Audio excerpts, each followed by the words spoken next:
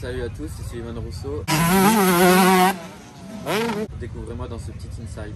À mon début de saison, ça s'est pas trop, trop mal passé en Ligue 125 et en Ligue du Centre. Euh, Très très bon début de saison. J'ai jamais gagné de manche pour l'instant, ni de ni d'épreuve.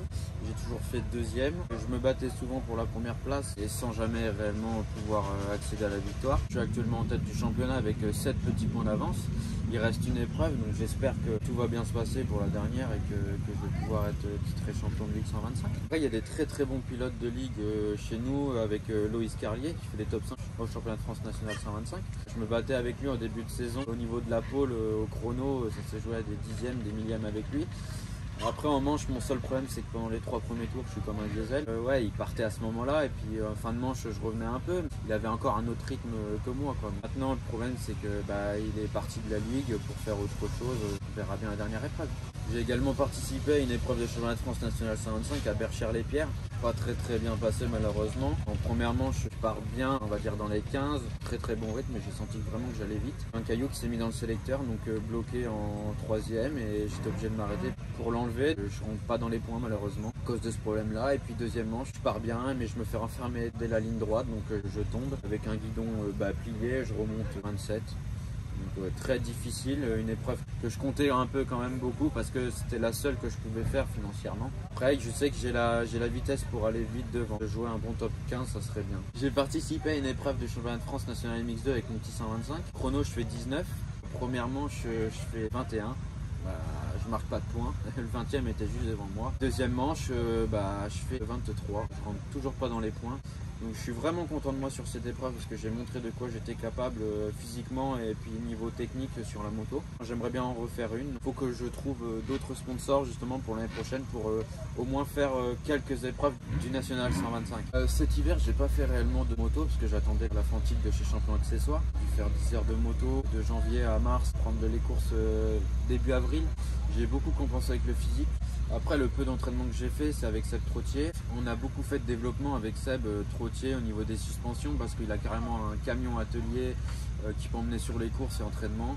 Donc on a vraiment joué pour ces peu de temps-là, amélioration des fourches amortisseurs pour que je me sente le mieux possible et en peu de temps. Seb, il me suit depuis 6 ans maintenant euh, sur mes entraînements moto, un peu sportifs. Il me suit vraiment dans mon quotidien et c'est une personne vraiment que j'aimerais remercier parce que grâce à lui, prendre un peu d'expérience niveau fourche, testing, j'aimerais vraiment le remercier pour ça. En très peu de temps, on a vraiment fait du très bon job. Bah, mes objectifs de cette, de cette saison, c'est très clairement d'être champion de ligue. J'ai été sélectionné pour la Coupe des régions, faire une très très bonne place euh, avec les meilleurs pilotes de ligue de chaque région, ça pourrait être vraiment cool. Niveau championnat de France, bah, du coup, j'ai pas pu réellement prouver de quoi j'étais capable avec euh, cette mauvaise place à Berchères-les-Pierres.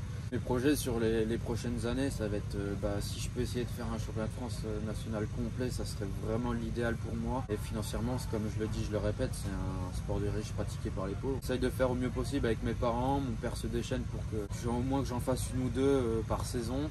Mon seul euh, un peu rêve et objectif d'une année complète. Niveau moto cette année, euh, préparation, j'ai une préparation basique moteur, NR moteur, avec une culasse, une ligne, après le CDI il est d'origine, des carters Boysen, des trucs de base, pas de la performance mais un peu esthétique. après j'ai un pack Racing Design qui fait tout mes kits déco et Mixit qui m'aide pour cette année au niveau des housses de sel. Euh, AP Moto aussi, 2F, 2FMX pour les tenues euh, cette année, donc Gauthier Bourgeot. Euh, LF Motorsport aussi, une très très bonne équipe et puis surtout bah, champion accessoire, une très très bonne équipe dont toi aussi Alex que je remercie pour aujourd'hui cette petite interview.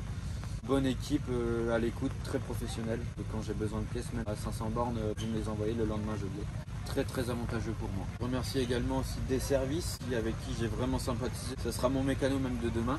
Donc je le remercie vraiment pour, pour son aide précieuse parce que vraiment je pense que ça être un peu dans la boue. Et puis je remercie également euh, bah, qui m'aide euh, aussi énormément. DAF, Bordina Bois, Stéphane de Guéné, Arnaud de Guéné. Enfin c'est vraiment des petits sponsors près de chez moi qui m'aident pas mal pour euh, financer un peu, un peu de ma saison. Donc je les remercie aussi également. Je remercie également mon nouveau partenaire qui est Blasphème.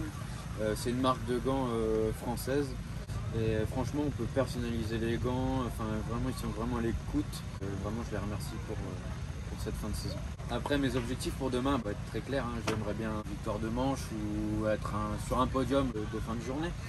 Euh, après, je sais qu'il y a du bon monde, il y a Kivers, il y a les frères Pia, qui je m'entends très bien aussi. Donc, non, c'est cool. Il y a un bon niveau dans cette ligue qui je pourrais me battre un peu avec tout, le monde.